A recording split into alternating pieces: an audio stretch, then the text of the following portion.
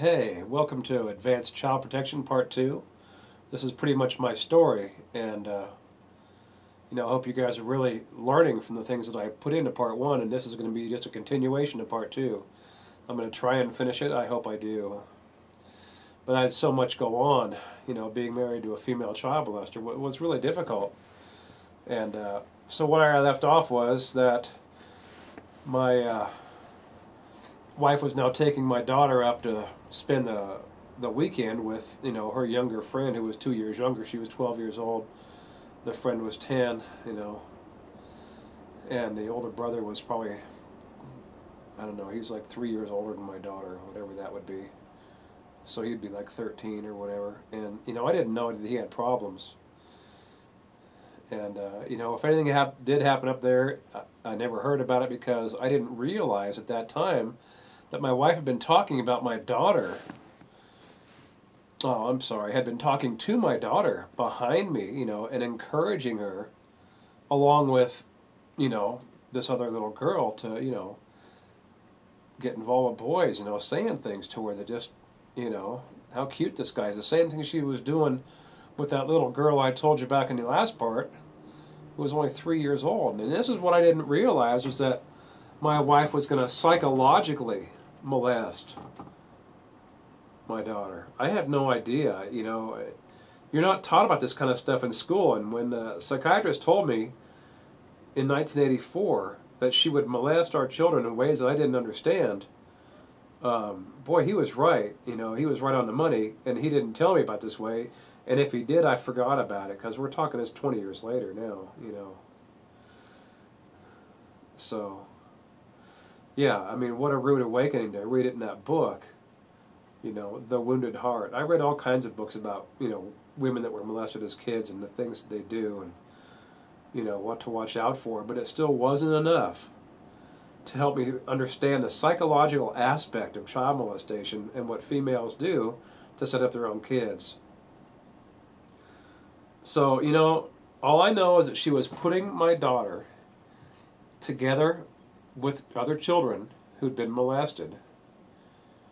And I didn't realize at that time that what she was doing was not only putting her with the, the younger daughter, but she was making the acquaintance with the older boy who had serious problems. You know, and he'd been in prison for raping other little girls, you know, since he was nine years old now at that time.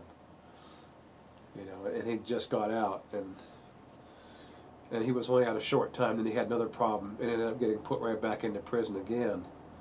So we're going to advance this now another year. My daughter's 13, and uh, sometime that summer the kid had got out of prison again. And uh, and still, you know, and I'd ask her, I go, isn't this isn't this the bad, the bad John? Because we had two Johns, and I'm just using different names. So, so we had two Johns that were about the same age going to the same church. And I, I heard in the background that one of them had serious sexual problems. And the other one was fine. So I was asking my wife, isn't this the bad John? She's going, oh no, this is the good one. The other one's the bad one, and tell me stories about him that I'd never heard. You know, and I didn't have any idea at that time that she was once again lying to me to get to my daughter in those ways that that I I had no idea was happening. Okay, and so this kid, you know, comes home and she tells me, "Oh yeah, you know, John, he's coming back up from L.A. He's been with his dad for the last year, you know, and." Uh, Amrina's going to go up and spend the weekend with with her little friend again. And I'm like, you know, I don't really want that to happen, and this and that, and as long as there's an older boy in the house, I don't know. I don't care if he's a good John or the bad John. The fact is, he's not going to be the John staying the same night in the same house as my daughter ever. And it's okay if, you know, the little girl comes down and spends the night at our house anytime while he's up there, but I don't want our daughter going up there and spending a you know a night with a teenage boy in the house that we don't know, especially at, at, at the age of 13. And you need to understand that at 13, um, my daughter was full grown. She was completely and totally, you know, full grown. In fact, she was basically done. You know, she might have grown maybe a little bit more over 13 or 14, but in our family, um, your body is done growing and you're fully developed by the age of 12 to 13. So I hear I had a um, a physically fully developed daughter at the age of 13 who just mentally wasn't developed there yet at all. And the last thing that we needed was to let some kid get a hold of her, okay? Because her body's already running with the hormones saying, woohoo, you know, it's time. Because that's how it is in our family. We really have to watch out for this. The same thing was with my mom. The same thing was with one of my sisters. You know, I mean, we all were totally full grown by the time we were 12 years old. You know, I mean, I grew an inch in high school. You know, my daughter basically stopped growing when she was 13, 14 years old, and she was done. She was full grown. You know, so uh, we needed extra protection for her because, I mean, there was all kinds of guys looking at her because she was, you know, extremely pretty. She still is today. But the fact of the matter is, she was full grown, and this is what the seventh and eighth graders, you know, saw when she was going to school, you know, and in that eighth grade year, she really came on, started coming on to guys, and I'm like, what is going on? I couldn't understand why all of a sudden she's just running after these kids, you know, and she was boy crazy, and and I, I didn't put two and two together until later that it was my wife that was telling her the same thing that she was telling that three year old. It's like, hey man, isn't he a cute boy, you know, and what did she actually say to my daughter? I don't know. I wasn't there because I was working all the time and thinking that my wife was protecting our children instead of setting them up. Okay. So this kid comes back. He gets out. And, you know, the next thing, you know, my daughter's going to go spend the weekend up there at. Oh, no, no, no, no, no, no, no, no the first thing that happens is we go to a summer camp, a church camp, you know, with the, with our church up in Al, uh, up in uh, not Alta, Scotts Flat Reservoir, and uh, this kid is up there, and the next thing you know, and I had no idea that my wife had been putting them together before that. So I go up there and see it firsthand for the first time that my daughter is just, you know, head over heels in love with this kid now. And they're kissing and making love, and, you know, just kissing and, you know, following each other and, and just doing things that are completely and totally inappropriate for a 13 year old. And I go to my wife and says, What the hell is going on? And she goes, Oh, Amarina's in love. I think we ought to just let it go. I'm like, Let it go? What do you mean, let it go? You know? And it was such a terrible thing, you know? here, you know, I, I was I've kind of forgetting that my wife was a child molester. I was like, I couldn't believe what was going on, and I couldn't put the two and two together. That she was encouraging my daughter to be with this kid, who'd been in prison for sex crimes since he was nine years old, and he's fresh out of prison again. Okay. And so, well, you know what we trying to slow it down. I'm, I'm trying to get an evaluation on this kid because, you know, my wife's going, he has great grandparents. We know his parents, they're good people. This this kid is perfect, you know, and this is this is true love. We shouldn't break them apart. You know, my 13 year old. And I'm I'm so torn because I'm looking at my daughter and she's just really going after this kid. You know. So anyway, the campout ends, and that's over with. What what happened at the campout, I don't know. Once again, I was out of the loop, more or less. You know. I mean, we had our own tents. My daughter was in her own tent. If something happened there, I don't know what was going on. You know, and and then I don't know. It, was a, a few weeks later, maybe a little bit later on than that, that uh, my wife told me that the the kid had gone back down south to be with his dad again and I was like, thank goodness, you know, that's over with, you know, because I didn't approve of this kid calling her up, you know, all times of day and night and back and forth, and, you know, the love going on with my little eighth grader, you know, and, uh, so my wife tells me that, you know, he's gone and Emery's going to go spend a weekend up at her friend's house again. And I'm like, okay, that's fine. As long as he's gone, no big deal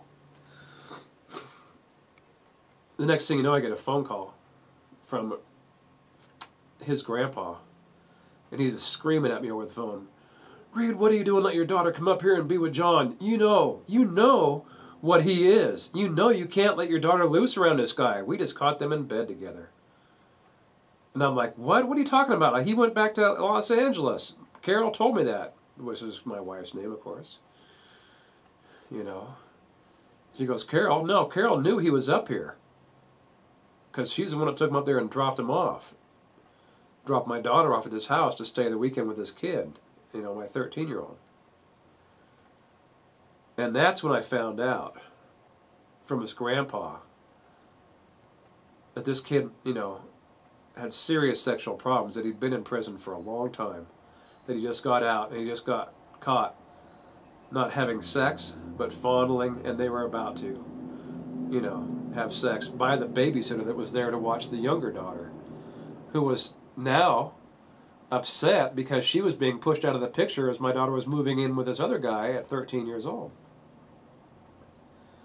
Kind of a twisted story, I know, and it's uh, it's kind of weird because I didn't realize at that time that, that because my wife was pushing my daughter into it, she was turning her on and turning on my daughter's hormones at a young age to where she would want this guy. Okay, well, we, we killed that right there, and, and you know, his grandpa is next Vietnam vet, and me, we just let him know that that was never going to happen again. And he was never allowed to even be around or call, even speak to my daughter again. And uh, so he ran away, went to Sacramento, and raped another 10 year old and went back to prison. you know, because he was so mad and so heartbroken, and he had just had to go out and go to a party in Sacramento and rape some other little innocent little girl. You know, and that's what happened. He went back to prison for that.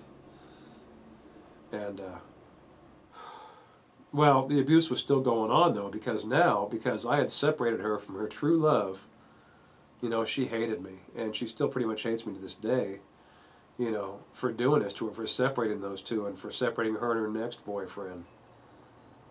You know, it was just, was I an overbearing father? No, I was trying to protect my daughter from sex offenders that my wife was pushing her into. Okay, and this is what I said my wife was going to do anything. If I wasn't going to allow my wife to to do it, you know, in front of me and molest my kids, and she was going to do everything she possibly could behind my back to let somebody else molest them for them. And so here we are, it's another year later. Um, my daughter is 14 years old, and I walk into the grocery store, and this lady walks up to me, and she goes, Are you Reed Lukens?" And I go, Yeah. You know, you know your daughter, Emma, she's going out with this guy.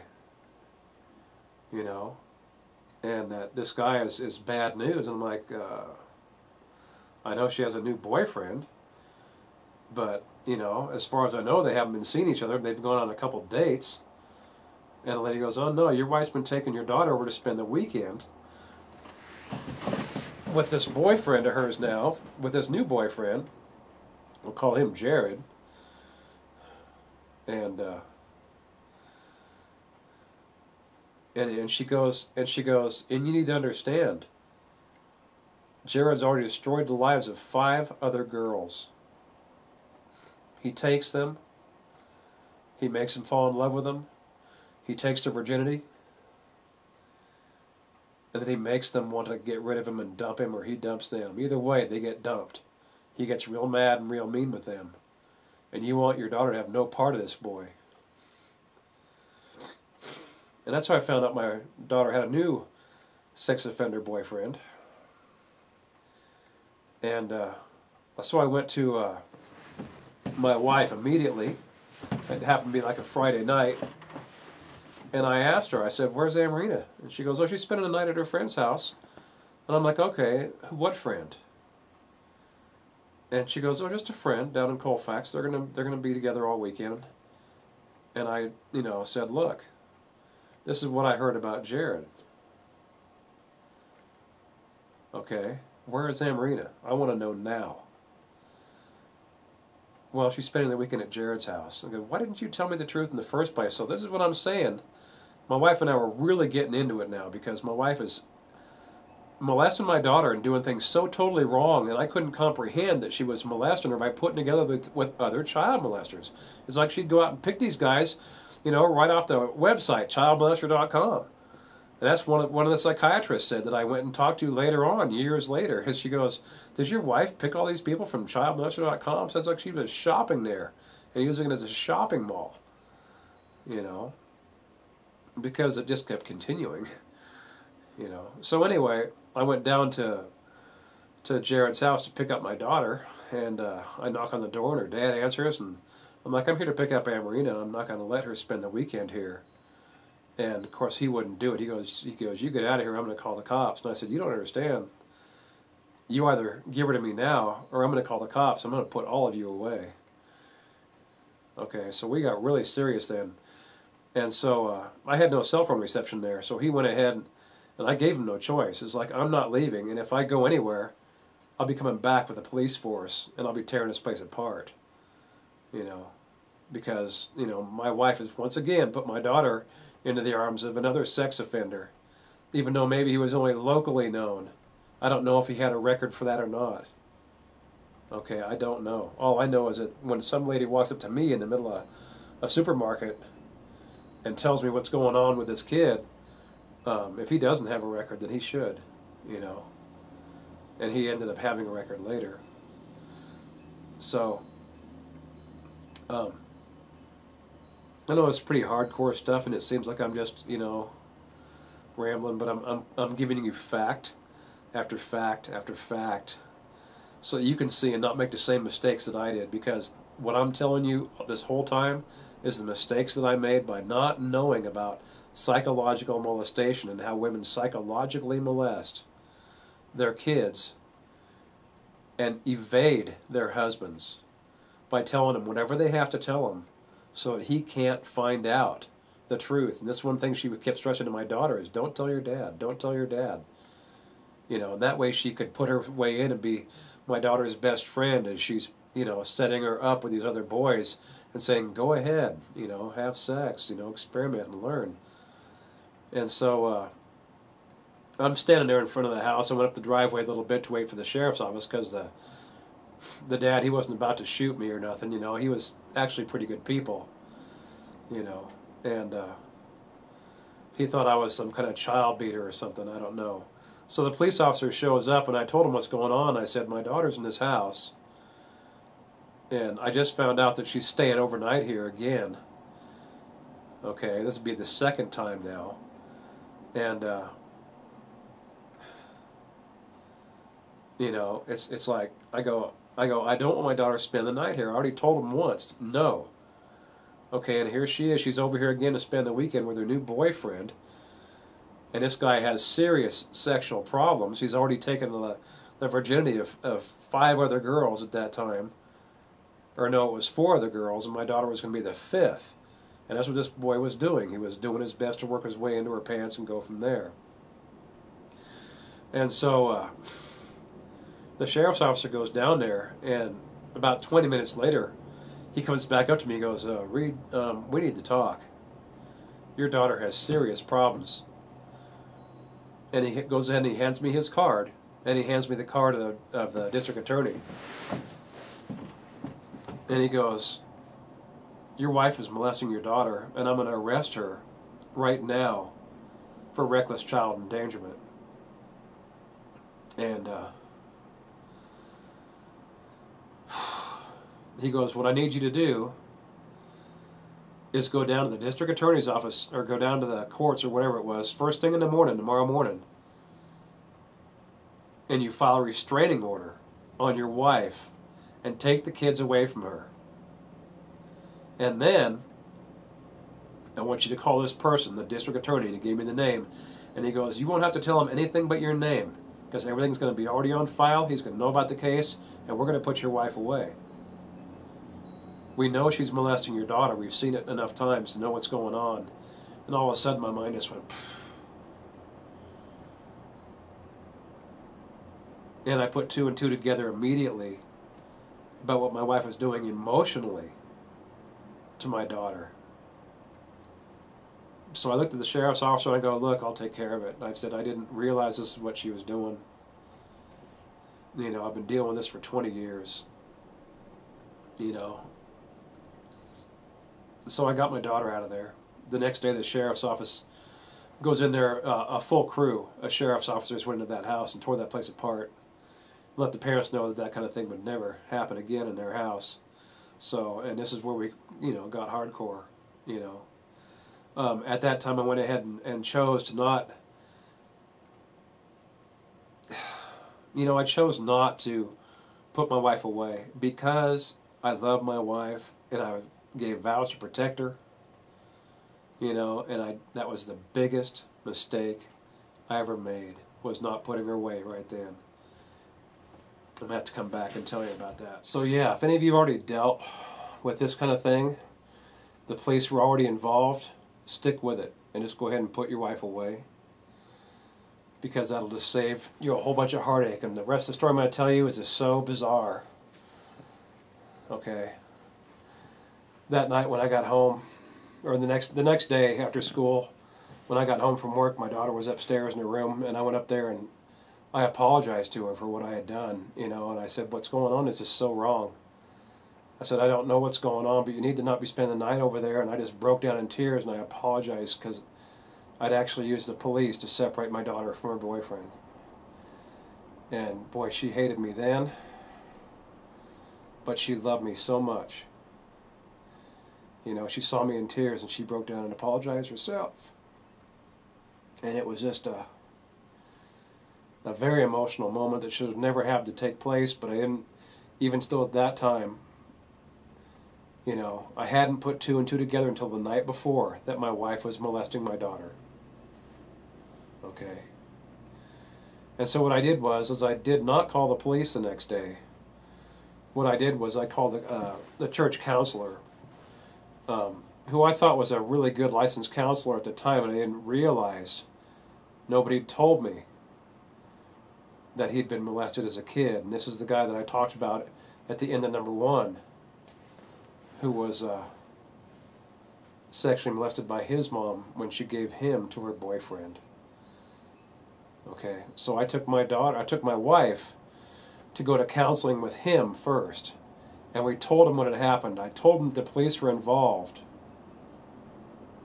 And I said, Do we have to go to the police? Because they pretty much give me no choice. It's like, you know, they're like, you know, we're going to arrest your wife, but we need you, read me, to press the charges, you know. I mean, did they really need me to press the charges? You know, I don't think they did. But because it was me, because my family is fifth generation around here, and because, you know, the, the guy took one look at me, the sheriff's officer, and knew that I was dealing with some serious stuff.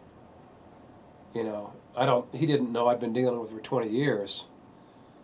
But when I told him I'd handle it, I, I meant I'd handle it. And that was the biggest mistake I make was thinking that I could because I didn't have what it took to handle it at that time. Um, not even close, you know. And uh, so he thought about it, this counselor, and call him Jay.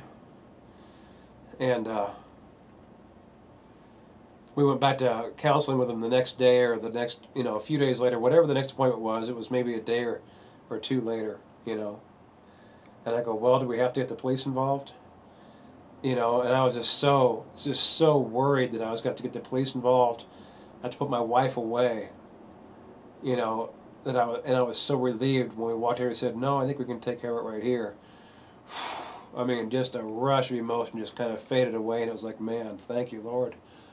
You know, I didn't know if I could handle putting my wife away and you know becoming a single parent with the hours that I was working and this and that. You know, it's like, you know, I screwed up. Okay, I didn't do what the police officer said. Go down and file a restraining order. Take the kids away. Then go ahead and go to the district attorney's office, and they're already gonna. they already had the reckless child endangerment charges, paperwork, and everything all done. And it was waiting for me. And I never showed up. the number one mistake, the biggest mistake I ever made in my whole life is what I just told you. So we kept going to this counselor. Then we took my daughter in there, and she was hating me. I mean, she hated me big time because now not only had I separated her from her true love, the sex offender who was back in prison after raping the 10 year old, but now she hated me because I'm trying to separate her from her boyfriend. And her mom is just telling her, "Oh, I know you love him so much. You know, we'll we'll we'll make it so you can be with him." And this is going on behind my back. And the next thing I know, after counseling, my wife comes up and says, um, "Emerine and I are moving out." And I'm like, "Okay, that's fine. You know, you can move out, but you can't take her with you. You know, not after what you've done." And she goes, Well, we're moving out and there's nothing you can do about it. And I go, Well, you know, I can call the cops and this is what's going to happen. I said, You've already, you know, stepped way over the line here. You know, and I still didn't know what she was doing was child molestation. And I said, What you were doing to our daughter is so wrong. I said, I don't know what the name of the crime is, but it has to be a crime. It's so terrible what you're doing, pushing her into these arms, these other guys. You know. And she had a friend named Jeanette, my wife did and Jeanette had this uh, little uh, grandma's house, grandma's apartment, and she'd already told my wife that she could move in there anytime she wanted to. And now my wife supposedly was going to Jeanette's house and taking my daughter there, and I'm like, you know, why don't you just go ahead and pack your bags and get out? I'll raise the kids on my own, you know, because obviously you don't, you're not fit to be a mother, you know. And we're just going at it because she refuses to go to counseling. Every time I say, and reminding her now that she has problems, you know, that she's already been classified as a child molester. She goes, I've never been to a psychiatrist in my life. And this is what the psychiatrist had told me, that she was going to forget that she ever visited and that she would deny it for the rest of her life that she ever went to a psychiatrist in the first place or was ever even, you know, diagnosed.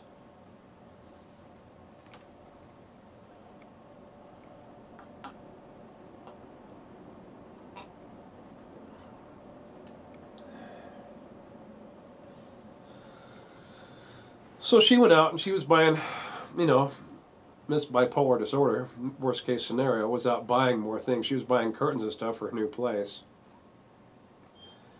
to get it all fixed up. And I'm like, okay, so where are you moving to? And she goes, you know, I go, are you moving into Jeanette's house? You know, and, and I just did not like Jeanette because, you know, she's putting herself between me and my wife and my family and you know if she's believing whatever story it is that my wife's telling her and she goes no jeanette's mom moved in we're moving we're moving somewhere else i'm like well where are you moving to or moving into Jared's parents house with him so now she's taking my daughter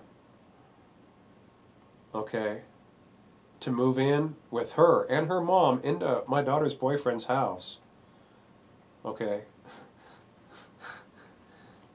what do you think I did then? Do you think I was just a nice boy? Boy, I went off, man. I was like, I'm calling the police right now. This is it. I've had it. I'm not dealing with you anymore. I've, I've put up with enough. I can't let you do this to our kid. You know. And I'm telling her about this, and we'd already had the argument, you know, about what the lady had told me in the store. And uh, she's telling me how they're childhood sweethearts. We need to not break them up. We need to just go ahead and let it go. That he's the best thing that she could possibly ever have. My 13 year oh no no I'm sorry my my 14 year old daughter, who then had just turned 15. Okay, so now my daughter is 15. She's still with the same guy. Well, my daughter, you know, didn't get to move in with him, and it was for the best. And I pulled my daughter aside at that time and said, you know, look, this is when I told her that her mom was mentally ill and that things were going on here in this house that were completely and totally unacceptable. You know, I didn't tell her at that time that my wife had been molested, and I didn't really understand what was going on still. But I was telling my daughter, and the counselor Jay, he was telling her and trying to calm her down because she she not only hated me, but she was now because she was being defiant and violent and completely and totally rebellious against anything I had to say, she was going to go have sex with this kid, whether I liked it or not, when she had the time to do it.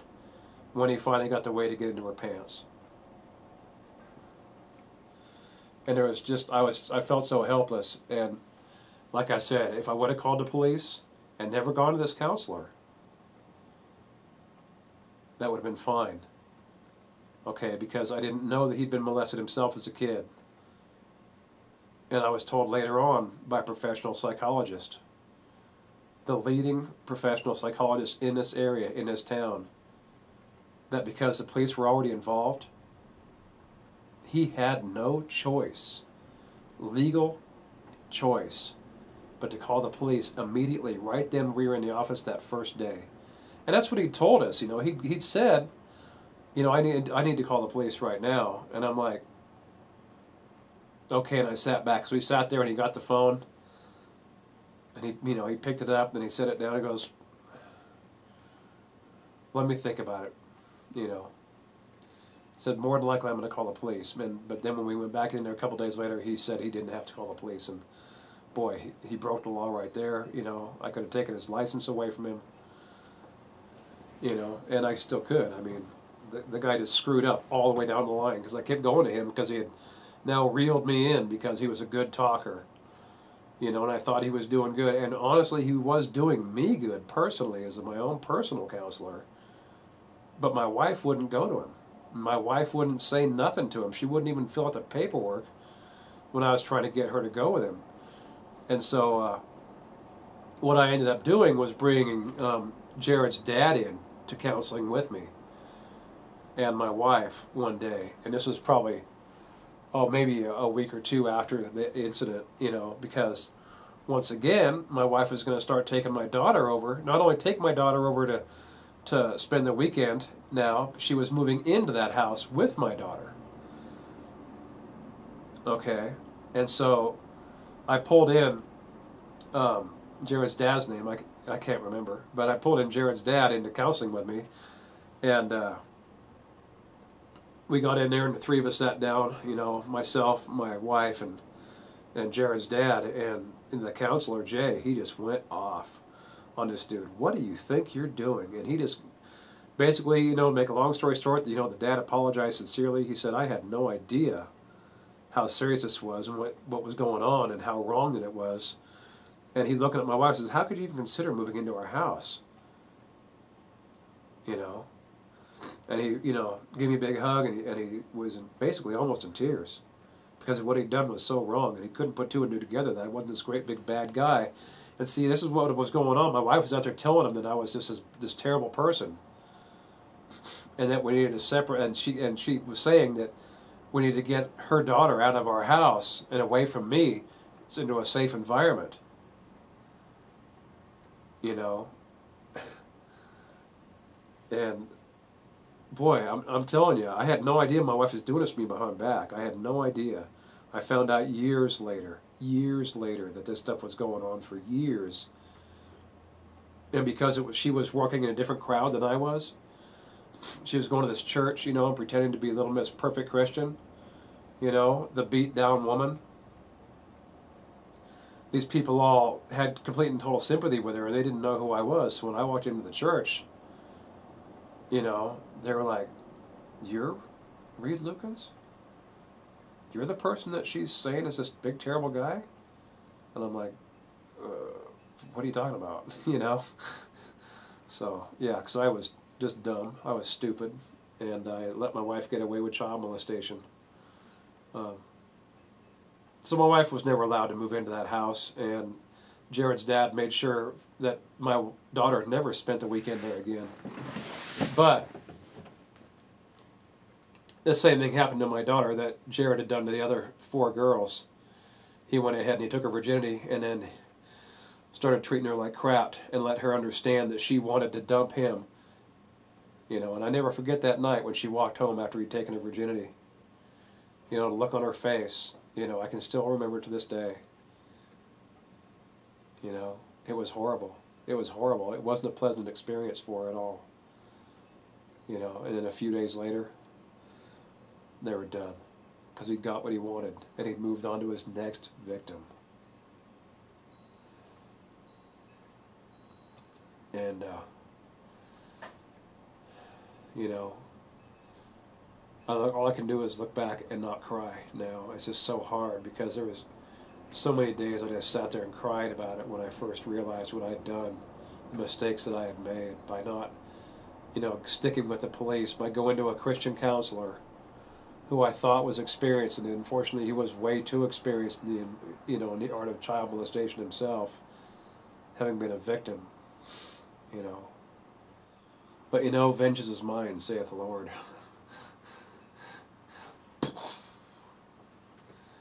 this kid got his. Okay, he got his. He ended up taking out a lady who was on a motorcycle and killing her.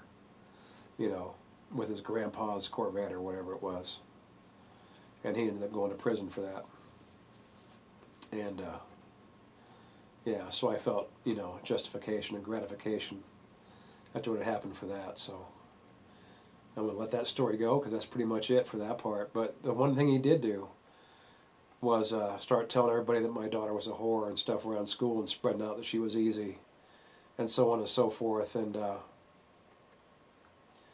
she ended up getting my, um, he ended up getting my daughter, you know, molested or raped again by a kid that actually came right up here to my house.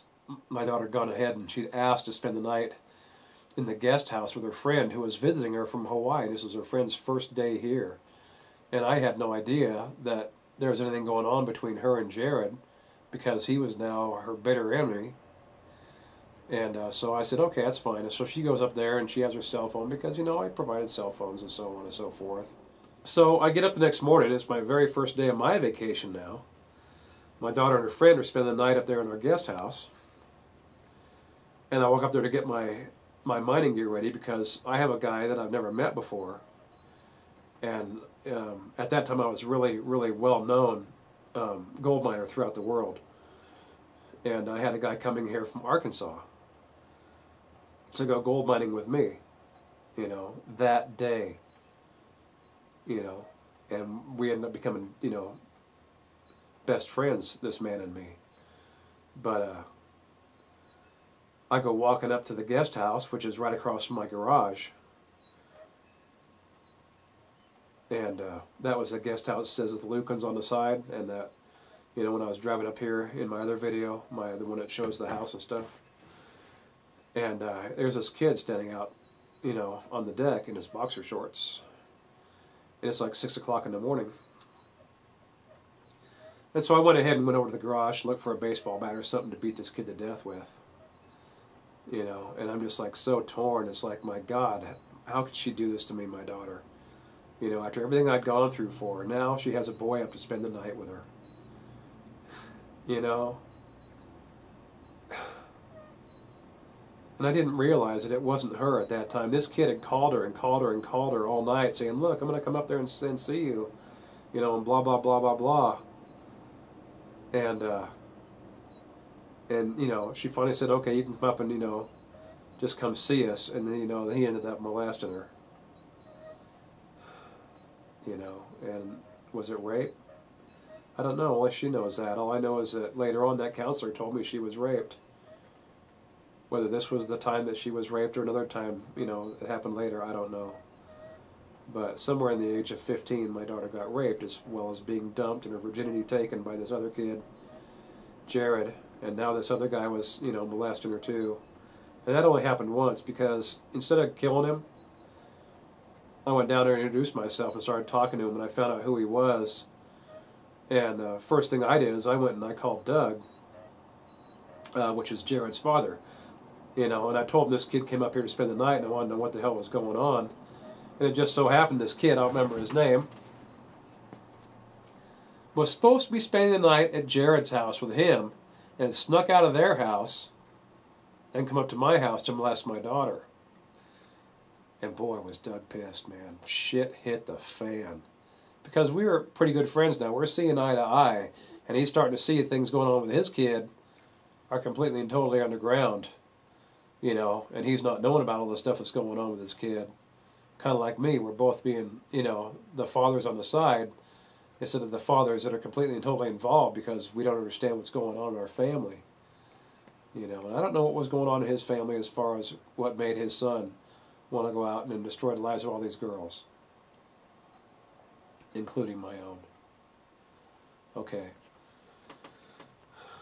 So, next thing I got a call from the, that kid's parents, and they totally apologized and, you know, what do you want me to do? And I was like, well, I just want you to beat the living crap out of him, you know.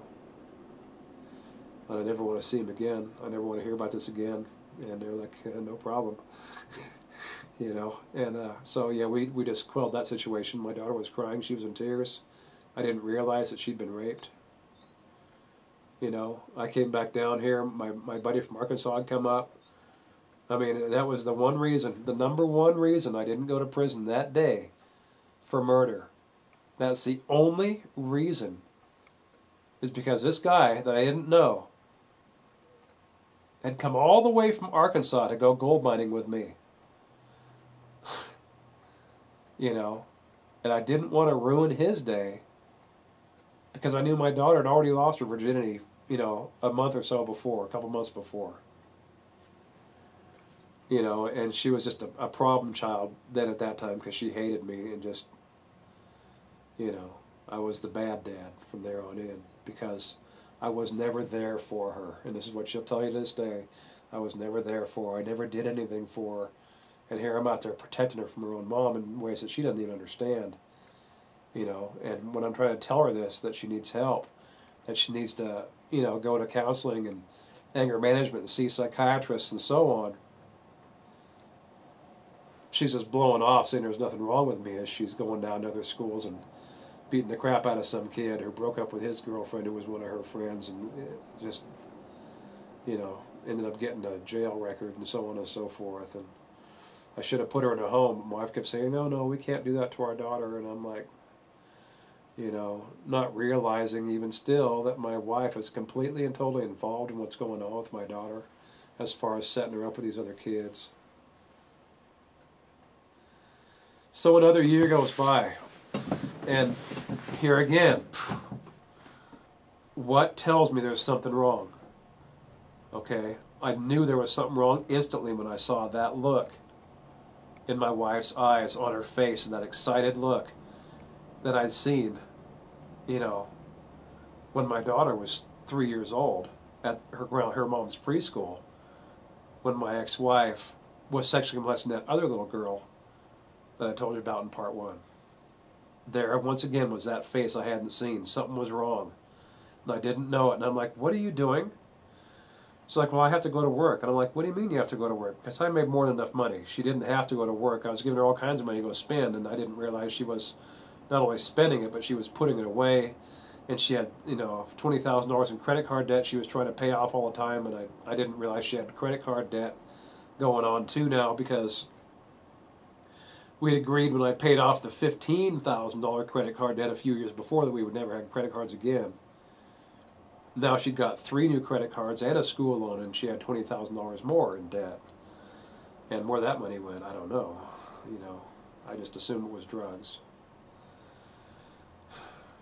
You know.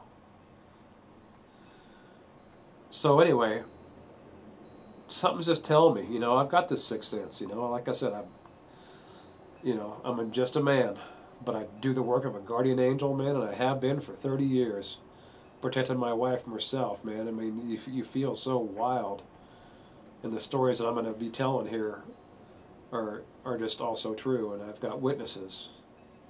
That's the only stories I tell, the ones that I have witnesses for. You know, because otherwise it's just too people would believe it just you know throw it off and say oh he's just crazy you know fortunately I've got witnesses to back up my story um, so now my wife has two jobs there's nobody to take my daughter to work and this uh, tow truck driver named Mickey is going to be giving her a ride to and from this Burger King up here and uh, I'm like what do you mean that's your job she goes, oh no, this is a great guy. He's a, he's a great person, man. He's, I completely and totally trust him. There's nobody my daughter's, that our daughter's safer with than with this, this Mickey dude. So I'm like, uh, no, I don't think so. So I ended up bringing Amarina down, and, and I just knew something was wrong. So I went ahead, and that's the first time I went to meganslaw.com. I mean, meganslaw.ca.gov. And I pulled up the file of every child molester in this area and up there at the Burger King in that area where she was working. Because my daughter is 15 now, she has a job, you know. Um, she's going to be 16 soon, within a few months. But my daughter is still being given rides to work by my by uh, her mom back and forth.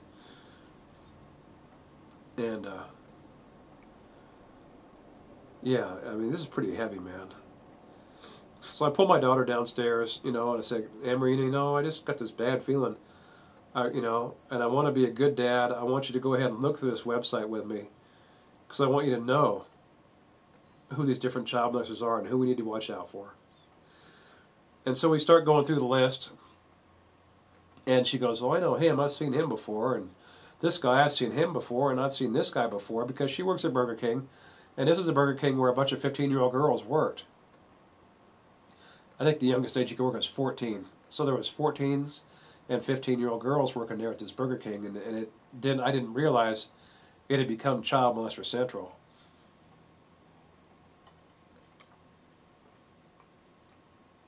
So next thing you know, we get to the M's, and there's a. My daughter screams, "Oh God, that's Mickey!"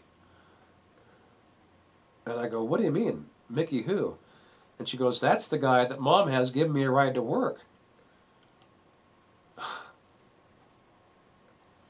And I'm like, "What?" And I go, "Yeah." And she goes, "Yeah, he told me he'd been to prison, but he didn't say it was for child molestation." So I said, Is there anybody else he's going after? And he said, Yeah, he was going after Tiffany today. Another little girl that was up there. He, and he's told her, this 14 year old, beautiful little 14 year old girl, that he wanted to take her down to the lake and see her in a bathing suit. You know, and he was telling he was going to pay her money to go ahead and, you know, come on down and go swimming with him and spend a, spend the day with him at the lake. You know, so here he was going to go molest this little 14 year old, and I didn't realize he had all kinds of girls my daughter said he's got it. Everybody up there, just when we see him, we run to the back room because we don't know what's going on. And here, mom's got me giving rides from him to and from work, and he's bringing them to my house. You know, that's it. I went ahead and uh, Emery just happened to know Tiffany's number. So I called up Tiffany on her cell phone and we had her turn on her computer. She, in fact, I think she already had her computer on and I gave her the web page number, and we went right to Mickey, and I pointed out that this guy's a child molester to, right there to the the 14 year old girl that night on the phone at the same time. And when I got done telling Tiffany that she needed to be sure and stay away from him, I asked her, and this is I'm talking to her on her own personal cell phone. I go, "Is your dad home by by any chance?" And she goes, "Yeah, he's he's out in the other room." I go, "Would you mind if I talk to him on your cell phone?"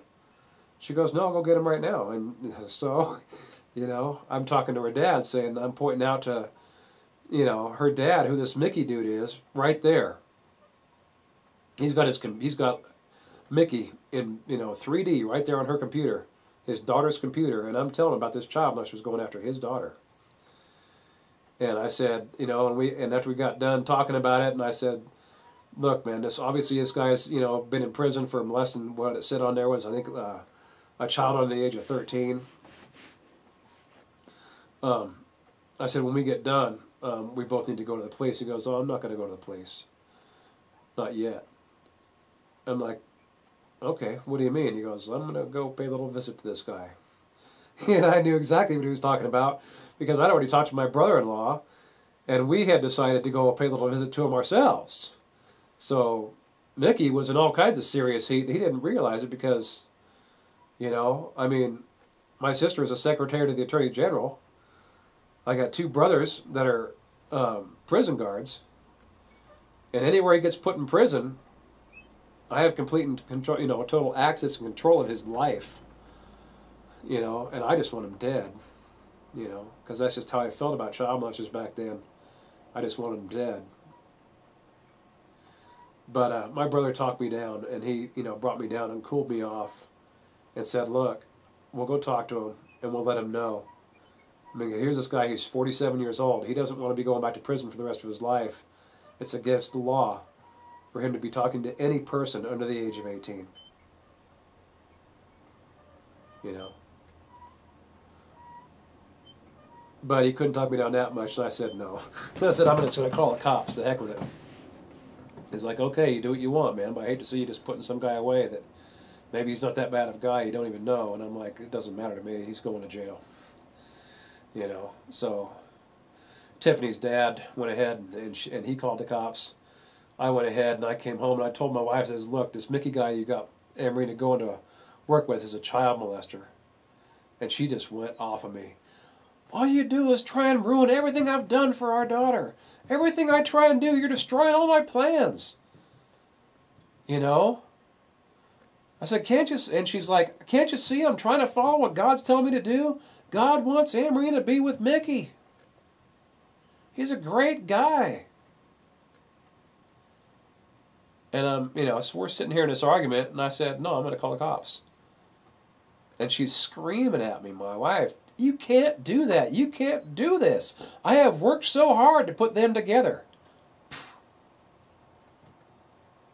The lights came on, and there it was. She'd admitted it herself that she had purposely tried to put my wife with my daughter. Did my, da- my daughter ever hear about this stuff? No, my daughter had no idea what I was doing for her behind her back. Even to this day, even to this day, I get calls, or you know, a, couple months ago, I got a letter from that, um, from the you know the John, from back when she was 13 years old, and here she is, she's 23 now. And I get love letters from this guy every now and again. For my daughter, and this time, you know, here he's like 26 or something like that now, you know and he's writing her telling, oh, you know, your parents should never tore us apart and blah, blah, blah, blah, blah. And I went ahead and wrote him a letter and just let him know that you don't ever want to deal with me again. And uh, so anyway, back to Mickey. I went ahead and called the police. You know, but it was at night because I was working a night shift at that time. There were these shifts that I was talking about that, you know, two swing shifts, four to midnight, doubling back into two day shifts, and doubling back into the two graveyards. So I called the sheriff's office at night, figured I could go ahead and get in, but they didn't have time to take down everything. But I talked to the officer for about 20 minutes and gave him my story about what Mickey was doing, that he was going up there and he was, you know, trying to get to the girls up there at the at the Burger King and so on and so forth. And he'd already gotten into my daughter and was giving her rides to and from school. And they went and they talked to him, and they let him know that, that would never happen again, or he would be going back to prison. And Mickey fell out of the picture, and that was that. And I didn't have any more problems for a long time. You know, my daughter was. Um, very rebellious by then. She was doing things on her own. She was coming home and just beating the crap out of her little brother. She was emotionally battering my me and her mom just so terribly, just beating her mom down because she knew that no matter what we said, whether I said yes or no to what it was she wanted to do, that she could emotionally batter her mom and get her way now because her mom was going to give in to her to be her friend. So my daughter ended up getting molested by my by my wife in ways that I didn't understand and uh, she started becoming really, really violent to the point that I, I finally had to move her out of the house just after her 17th birthday. Went down and rented an apartment, and she moved out, and uh, never to return. You know, and, and it was, she was never welcome to return. Okay, until she was willing to get help, and that was the problem that I was having is she was unwilling to get help or listen to me in any way, and she couldn't understand that her mom had done this stuff to her, and I didn't have the the heart or the knowledge to tell her exactly what had happened to her you know. I mean, I tried to tell her, but she just would not listen. Just, I mean, she was extremely, extremely violent towards me to the point of where one day she, you know, called me out and she was going to beat me up, and I'm like, okay, that's fine. I'd had enough. I threw my hands up in the air and I walked outside. So she'd go ahead and beat me up. She says, "Come on, hit me. Go ahead and hit me." You um, know, because she was extremely violent. I was like, look, you know, I love you. If you really, really hate me that much that you got to beat me up, then just go ahead and sit and start hitting me. I can take it. You know, hit me as many times as you want. I'm okay. And I sat there and put my arms behind my back and I stood there and waited for her. You know, the next thing I know, the knives come out of her pocket and she throws them on the ground and she screams at me, I hate you, I hate you. You know, I happen to hate you, you loser. And just going off on me. And my son's in the house listening to all this because he's just in terror of her because, you know, in his own words, she's going to kill me, Dad. She's going to kill me. She wants me dead. And she did. She was beating the crap out of him on a daily basis at that time. You know? And so she, you know, goes in and gets her stuff and screams out of the out of the house, gets in her car and goes because, you know, she's 16, I guess now, and has her driver's license or whatever. And uh, oh no no no no no I'm sorry. Yeah no she was 17. She just turned 17 when we had this big fight. And I couldn't take it anymore. I was done dealing with her and trying to get her in for help. I couldn't take it. She was emotionally battering me terribly now she wanted to stab and kill me out my own front yard. Um, she was coming in just hitting the kid as hard as she could when she'd walk through the door, just completely and totally violent. And uh, so I looked at Abraham. I go, "What would you think if we went ahead and just, you know, packed up your sister's stuff and moved her out?" And he got the smile on her face. Goes, "Yeah." And I'm like, "Okay, good, let's go." So we went ahead and we went down to the store we got boxes and we went up and packed up all our stuff and put it out on the front porch. And when she got home, she was done. She didn't live here anymore. You know, we were going to move her down to her grandparents, but we ended up getting her an apartment. And then we ended up getting her another apartment because, you know, she was learning life the hard way, that she couldn't have it her way. So, because the first apartment we moved her into, she turned into the party pad. You know, it was a non smoking apartment, wasn't the greatest apartment, you know, and she ended up bringing all the riffraff in for parties, you know, and all of her high school buddies who used her and were smoking and were doing dope. And this kid was thrown up outside of her door. And, you know, within the first three weeks, um, she got thrown out of her own apartment by the landlord. So we had to get another apartment. And she learned a valuable lesson there that, you know, maybe dad wasn't all that wrong, you know, and that people were using her, you know, in every way. And so uh, she went to her next apartment and she gave up all of her old friends and she started her life over. And she's been working her way up ever since and doing a great job of it. You know, but it took to get to that point to where she finally hit her lowest low and got thrown out of her first apartment within a month before she started listening to what we were saying. So that's pretty much the end of the story for that part. Um, I'm going to go back into Mickey again because Mickey was a child molester, and uh, and what he had done is he raped a nine-year-old girl. Okay, this is a full-grown man, and it was really weird because you know just how things worked out. I ended up going to his hometown, and I had property over there, and so I was approached by this group of people who wanted to have a party on my place at the river, which is where I shot my PTSD video. And uh, and so I'm talking to the, one of the main guys, and I go, "Oh, maybe you know it." You know, I said, "My, you know, my daughter was molested by a guy who grew up here, and his name is Mickey so and so." Um, you know, maybe you know him. And he goes, Mickey. And so he goes, "Yeah, yeah, he molested your daughter." And I go, yeah. And he goes, and he goes, I know all about him. And he starts telling me how he had uh, been bragging, you know, about it all over town. I'm here with a group of people. I mean, this guy is here with with a group of his of, of his people wanting to have a party at my place. And uh, so I find out about Mickey about how he'd molested this nine year old. You know, and how that he was always bragging all over town about how she gave him permission. You know, and I'm like, this guy's a child molester, and I point this out to him, you know, and they were kind of sitting there with smiles on their faces. They, they, they all, a lot of them knew Mickey, you know, because he was trying to become part of their gang, you know, or part of the, you know, part of their crew anyway.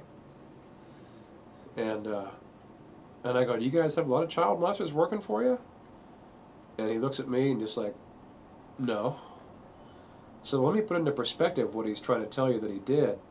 And I said, so here's this little nine-year-old girl. You know, she's three and a half, four feet tall, maybe a little bit taller, depending on, you know, he could be anywhere from four feet tall, maybe four or five, you know. And here, Mickey's a big man. He's over six feet tall. I think he's like six two. You know, I can't remember what it said on childmolester.com, but it was something like 6'2", 180 pounds or something like that at that time, you know. Maybe it was 220 pounds, I don't remember.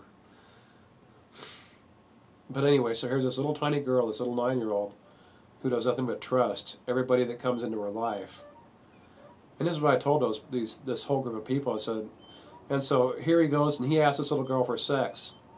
You know, hey, can I can we have sex? Let's go ahead and have sex. And she's like, okay, I don't even know what sex is, but okay, I, I know I trust you because you're an adult, and I'm supposed to trust you. And uh, so he takes her out, and you know, even if he was an average man, because she's so short, when he's sticking in a ram her, you know, it's going to be beaten right up here into her chest, right into her heart. And this is what I told these people. So here he was, you know, this 35 year old, or however old he was when he molested her, you know, just banging into her. And every time he rammed it in, he's hitting her in the heart, hitting her in the heart, hitting her in the heart, hitting her in the heart. Until she doesn't know what's going on. You know? And what they ended up doing was forming that first little icicle in that girl's heart from being stabbed in the heart so many times by this guy's penis at the age of nine. You know. So this group went from being smiling and happy to every one of them had tears in their eyes now, and the women were just crying uncontrollably when I brought them into the realization of what it was that Mickey had done. And uh, to make a long story short, there was no party. They didn't. They didn't have the party down there because he was going to be the drummer at the band, and I said, I want no part of this. And so that never took place. And the fact of the matter was, you know, God put us together so that I could hear what happened, and I could make sure he didn't get into that group, and I could help people understand the truth about child molesters and how they work.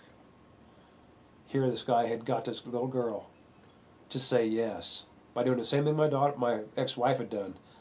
You know, come on, you know, I love you. You know, I love you with all my heart. Come on, you know, have sex with me. You know, probably had that same big, huge, loving smile on his face that he would have for all children because he loves them too much. What happened to Mickey, when he was a kid? I don't know. But child molesters are created by being molested themselves as kids. This is why I have a heart for Mickey and everybody like him. For Carol, my ex-wife, and everybody like her. Because they've gone through hell as children. And they can't see that what they do is wrong. You know. Mickey went to prison. He did his time. He did his 10 years for molesting that nine-year-old. You know, and I stopped him from molesting the girls up at the Burger King. By letting the police know, you know, and uh, and so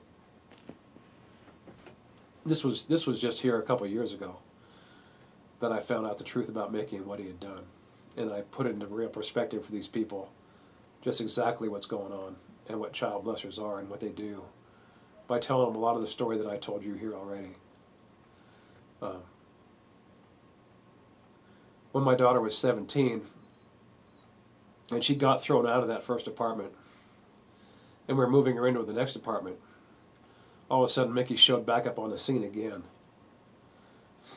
Okay, and my wife was all encouraging him to be with my daughter again. Okay, and now, because there was no washer and dryer in my daughter's new apartment, you know, my 17 year old's new apartment, and she had just turned 17, she was like two months into 17. Um, here comes Mickey with a brand new washer and dryer that he's going to put into her apartment. And I just went off again. And I went to my wife and said, Look, you can't be taking anything from this guy. He has no business being around her. And she's like, I don't know what you have against him. He's such a great person. And the same thing that she was saying before. And trying to push my wife into this kid, into this guy's arms. You know. So I went to my brother in law and uh, and and he went off. I mean, he was a prison guard, and he goes, "Look, this guy is a child molester. What he wants to do is put the washer and dryer into Emma's house, so he can show reason for entry, so he can go in there anytime that he wants to use this new washer and dryer.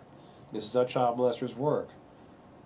Once they have reason for entry, and it's been established that they can go in and out of that house, then all he has to do is say, "Hey, You know, she said it was okay and we had sex. You know, because my daughter, even though she was only 17, you know, she was acting like an adult. You know. And I wanted to put him away again. But uh it didn't go that far. What I ended up doing was we ended up completely and totally taking Mickey out of the picture that time. Oh yeah, that's what I yeah, I wrote him a letter saying I knew exactly what he was doing with the, you know, showing trying to show reason for entry and that it wasn't going to take place. And uh, when it was all said and over, you know, I went to my daughter and said, you know, did you ever have sex with him, you know, back in the day when he was giving you a ride? You know? And she looked right at me and she said, I did what I had to do to get a ride. And, uh,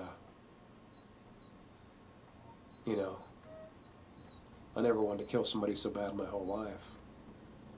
But you know what? I'm, I mean, I'm a good father and I want to be around for my kids and my grandkids. So, you know, this is the end of the story. And I've told the whole thing for this part with my daughter. I've showed you the mistakes that I've made. And uh, there's going to be another part to this, what she starts doing to my son. Because I got to tell it all so that you guys can see what sexual abuse other person really is. My wife did everything she could to put my daughter with other child molesters, even registered sex offenders, right off of childmolester.com. And she argued with me on every point with every person saying how great of a person they were.